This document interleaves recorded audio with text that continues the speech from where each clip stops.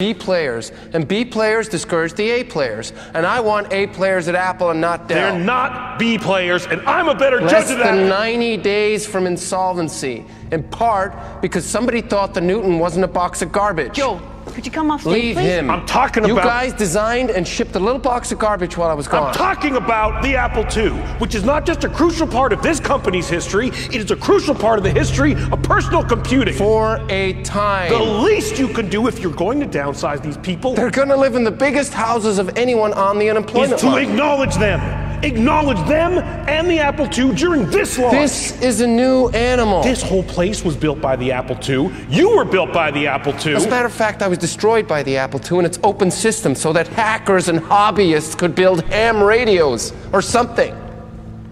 And then it nearly destroyed Apple when you spent all your money on it and developed a grand total of no new products. The Newton. The little box of garbage. You guys came up with the Newton. You like want people to know that. This is a product launch, not a luncheon. And the last thing I want to do is connect the iMac to the, only successful product that this company has ever made. I'm sorry to be blunt, but that happens to be the truth. The Lisa was a failure. The Macintosh was a failure. I don't like talking like this, but I am tired of being Ringo when I know I was John. Everybody loves Ringo. And I'm tired of being patronized by you. You think John became John by winning a raffle was? You think he tricked somebody or hit George Harrison over the head? He was John because he was John. He was John because he wrote Ticket to Ride, and I wrote the Apple II. Everybody, look, I want to clear Nobody the auditorium. moves.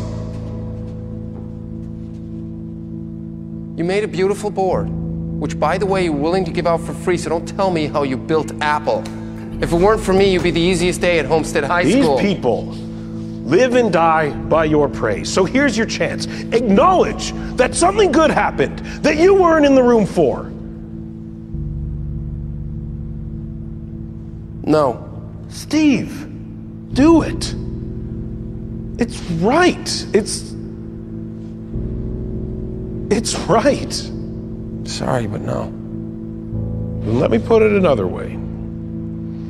I don't think there's a man who's done more to advance the democratization that comes with personal computing than I have. But you've never had any respect for me. Now, why is that? I'd at least consider the possibility that it's because you've never had any for me. What the hell is going on here? Nothing. Thank you for your time.